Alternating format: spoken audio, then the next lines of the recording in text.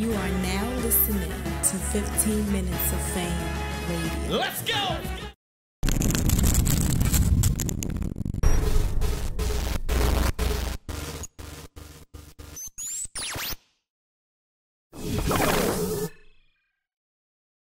Yeah, 15 minutes of fame. Kee Kee Hardbody. Yes, yes. Hi, K Mulan. E E K E E Two E's. Hardbody. Don't get in my interview hating. Hey, Definitely ain't going up. he's such an avid, such a hater. Uncle Ra, every time we try to work together, he always comes to you. But what's up, Uncle Ra? Ain't nothing, ain't nothing. Uh, how about if we do a little update about uh, tonight, uh, Smack Volume 1, Okay. small room, crazy environment. Give me your take on tonight. My take on tonight, honestly, it was a great event. It was an intimate environment, but it was just like I'm at all right now. Like shout out to Beasley, Smack, Chico, everybody with URL staff, P, Norbs. It, it was well put together. And you know, I, I just want to commend them for always setting the tone for other people, basically setting the blueprint because that's what Smack is known for. So I always get respect when it's due. And ultimately, like with the, the backdrop, we all spray painted our names on it to give it that that that street feel because that's where you know the battle rap scene comes from Straight like that. straight like that. And um it was it was just you had to be there. Like you literally it was I say that sometimes at events, but like this event, like you literally had to be there. And it was a VIP event. So for me to get that invite and you know, one of very few females that were actually there, I feel honored and blessed to be there, honestly. It was it was great. So, so let's start with with the. Uh, I'm trying to remember what was uh, actually Twork and uh, JC started it off, but that yes. was the first battle, oh right? my gosh, yes. Man, at first it was supposed to be JC and Trez. I, I'm not JC. Chef Trez and Chess was supposed to start it off, but I was so happy that JC and Twork did start it off. Especially coming off that champion, um, you know, ultimate like recap, not recap, but champion brought the show in. So Right, they kind of dope. ended with that. So once you know, they started talking about Twork and JC. I guess that just fired them up, and they they got straight to it. JC pen game is is amazing, and with JC's pen game being amazing, it tapped into Twork's pen game. It made him step his pen game up, which he did. He showed up, he showed out, he was aggressive like he always is, and he had he, he had incredible rounds. His first round was kind of short but it was still well put together. His rounds, JC, all his rounds were well put together, but ultimately I gave it to Twork. Um, it, I don't know, Twork just, it's just preference, and I prefer Twork over JC, but they both were great. They both were awesome. Still a good battle. Yes, it was a great battle. Uh, so who was next? Next, I don't even remember the order particularly, but Oh, who was next? I really don't Was it remember. Suge and Mike P?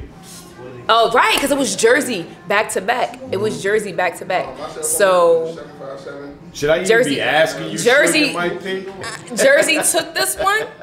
I, I gave I gave Twork two one against JC. I gave Suge 3-0 clearly. Now Mike P's second was really was really well written, and his third, when you guys see the footage, he tapped into his his personal life because you know Suge always asks, "What's your life like?" and Mike P kind of beat him to the punch if he was to like put that in, in the battle.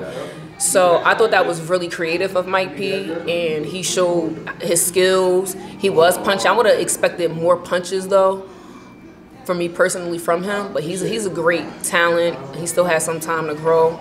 Suge, a vet in the game, and time and time again, proving himself, proving himself. He just he just came off the traffic three card out in Cali, and I was there for that. He did well on that card. His last battles, his last few years, Suge has been proven it proven to the culture he is worthy of top tier status because you know some backlash. I said, huh? Suge been top ten. No, no. But what I'm saying is, Pete, you know, Uncle Rod, you know, people want to discredit him. Can't discredit. Him. You Suge. can't discredit him, but people try to. No doubt. People try Yeah, of to. course. They, you know, oh, now he's not really. He need to do this. He need to do that. But Suge is top ten, Top which is a fact. ten. This is not me being biased. Jersey, no, this is a pure fact. He's he's a great talent. He has good energy. He had bars. He three old Mike P. I edged him. The um, I believe it's the second round, and Mike P again. His third round was creative. Suge came out swinging. Suge came out perfect. Him and Twork, they they just kept that momentum. So after Twork and JC's battle for Mike P and Suge to go up right next, Jersey took it 2-0 off the off the break. Now I'm gonna. battle. I, I, I, I think it was K-Shine and um, Danny Myers next. Okay, K-Shine and Danny Myers. Very, very intensive battle. Very. Very aggressive. Much more aggressive than I actually proposed it would be. And I loved it. I absolutely loved it. I gave it to Sean. I like Sean better. Danny came. He was talking. I think Danny third was to me one of his, his best out of the, the whole battle. His, his third round was was really was hitting for me personally. But K-Shine just every single round, K-Shine was just he was in his bag. And again, I always commend Sean when he's not overreacting so much like with the aggression. Danny was touching him and like trying to push him around. You know, he pushing him off and telling him to chill. But we all know Sean. We know how Sean can be, and he just like no. Talk, he he used his words and not his hands. So I thought that was really you know brave of him to. To take the higher road, but you know they, they shook hands. The camaraderie was um was great after the battle. But ultimately, I gave it to Sean. Danny is representing for the West Coast. He's doing his thing for the West Coast. I feel like people need to give him more props. Also, um, a- a- again, certain battle rappers they're not getting their their respect that I feel like they should get. And Danny Myers is actually one of those people. Fuck with Danny Myers. Yeah. Oh, bar guy. Yeah. Now that's three. I'm Right. trying to think of who was next. Since you said bar guy, he actually gave Twork his uh his chain, the bar guy chain. That, that was dope. That was like dope. I keeping saw the with it back like too. that that stuff like that is actually great for the culture. Yeah. It's good to go against each other, but to to build friendships within you know our, this is our own little community. Yeah. Yeah. And for that type of environment in which we were in, that was just like the perfect time. Because had that been like a bigger event, it probably wouldn't have went just like that. Right, right, right, You right. you right, follow right. me, Uncle The Rob? camaraderie would have Yeah. been different. Yep. Yeah, yeah. I, I said that too. Yeah. I said that too. And Yeah, It was yeah. love. Yeah. Like from the beginning to the end. it was nobody, no arguments. This was the first event I ever been to, and it was no arguments, no back and forth, no like nothing. Yeah, it was it was pretty good. I'm trying I to think of who was next though. You know, I don't remember order, Ra. I'm not So- hold you. So after K Shine, it was like seven battles. I know. Then we had um, rum, and um, we're gonna go with rum and um, yeah, yeah, rum and um and, and Iron Solomon. Oh my goodness. That battle. I have no words for that. That battle was so well put together. You guys listen out there. Y'all hearing it from the Queen. Y'all hearing it from Kee Kee Hardbody. Iron Solomon versus Rum Nitty. Classic. This is going in y'all top 10, top 5, top whatever you have. I promise you. Battle of the year. Ultimately, Tay Roc and Hollow the Don was like contender like battle of the year. In my opinion, they had the best battle so far out of every battle I've seen. This clearly takes the cake. This is like back and forth, back and forth. Iron Solomon really showed me what great writer he is. He was saying things that ev- it wasn't just me. Everybody was saying, "Where'd that come from?" Like, Crazy room shakers. what? Like, both of them. how how did that happen? And then on the flip side, Nitty was the same way. And it wasn't all about gun bar, gun bar, gun bars for Nitty. Nitty went outside the box. So if people listen to what he was saying, Nitty wasn't talking like shoot him up, bang bang throughout the whole three rounds. He wasn't. So I really feel like it, it was just, oh my gosh, that's one of the best battles I've ever seen in my life. Period. Small room, big room, doesn't matter. Like this is one of my favorite battles, hands down. Like I can't wait to watch that I really don't, I really don't know what to say. And if it hit like that in the building, I bet while we're watching it, we're probably gonna stop, pause it every after every reaction. Catch catch shit that we Like, didn't get in the what? building too. So it, it was it was crazy. Yeah. All right, so uh, your baby daddy, your baby daddy versus um, B Magic. So yes, Av versus B Magic.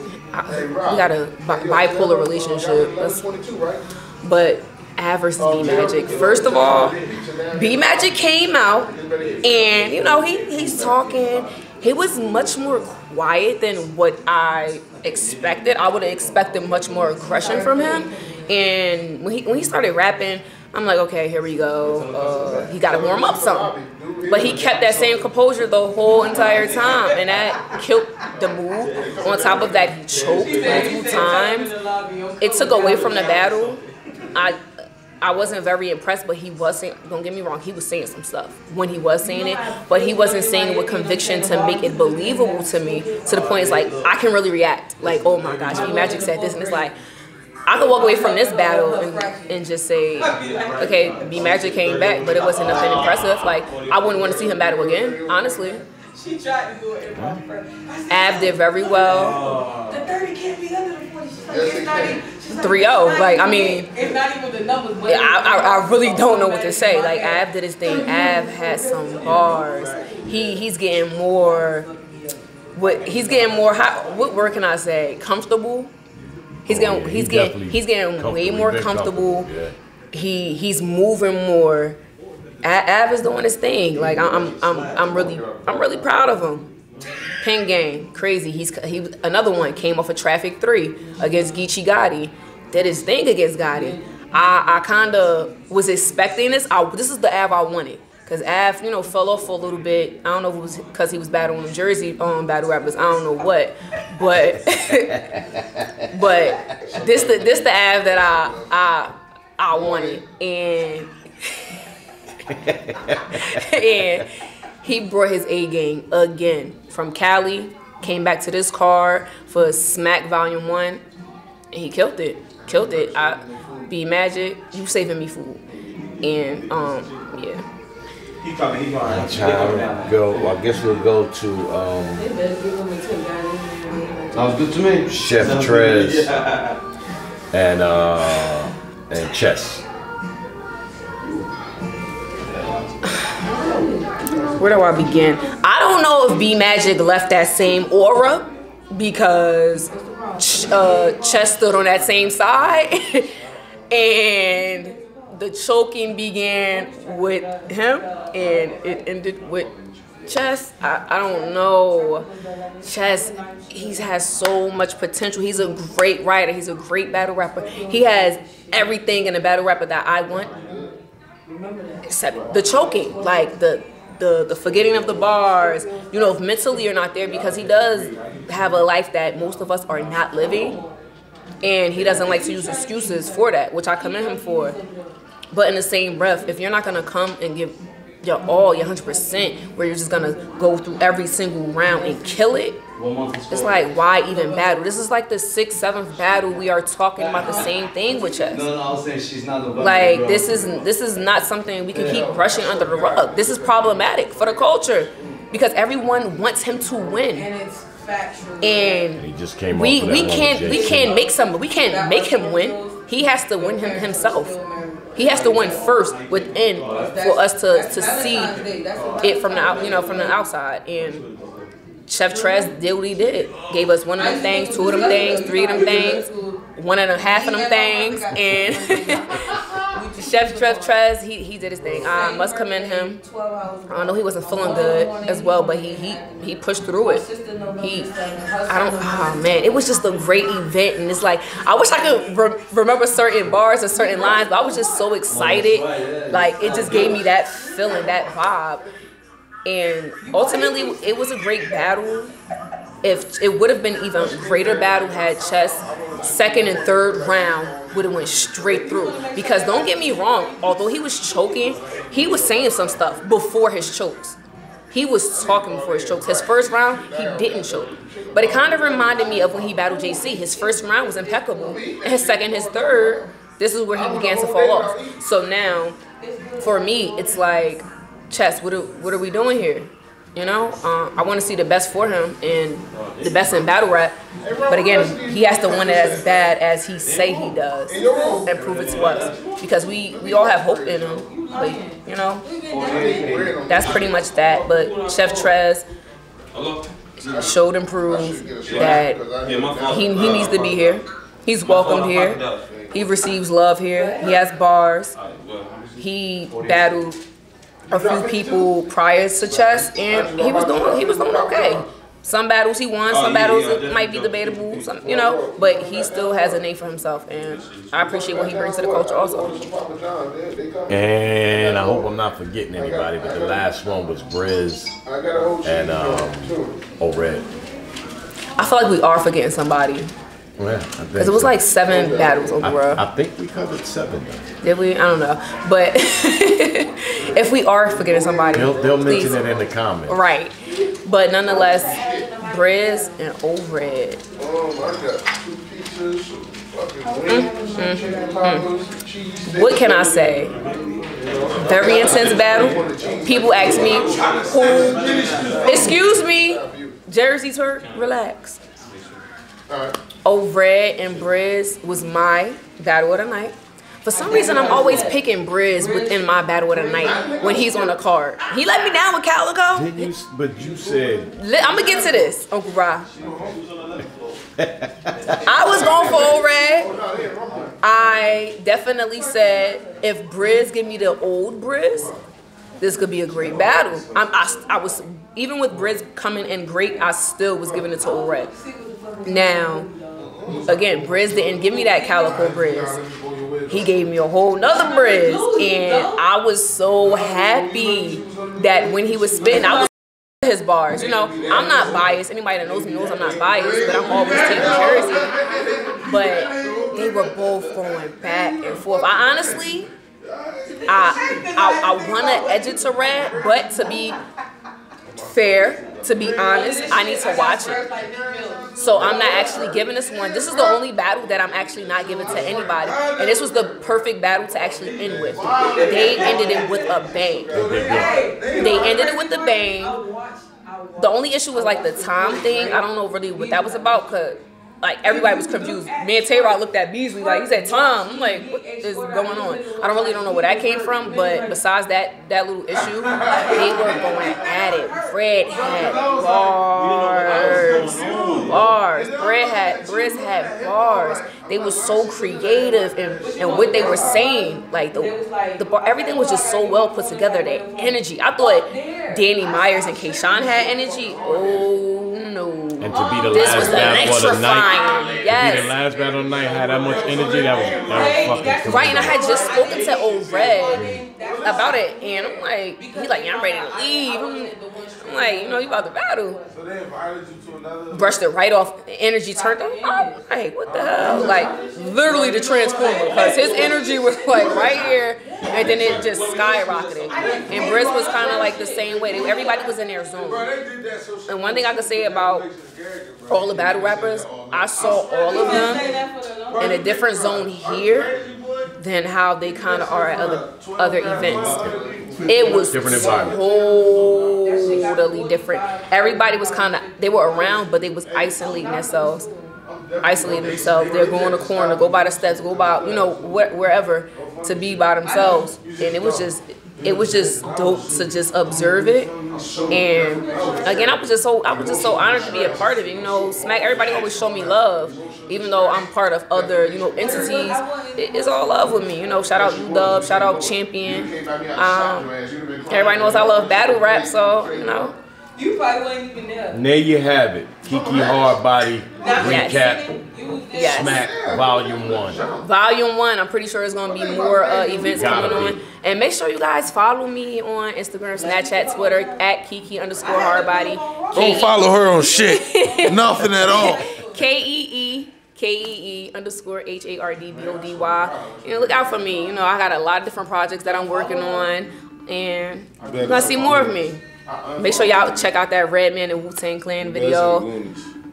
Lesson learned featuring your girl. I'm modeling and acting, and you already know. Shout out to my Goonie gang, gang gang.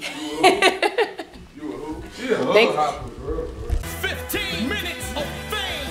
You are now listening to 15 Minutes of Fame Radio. Let's go.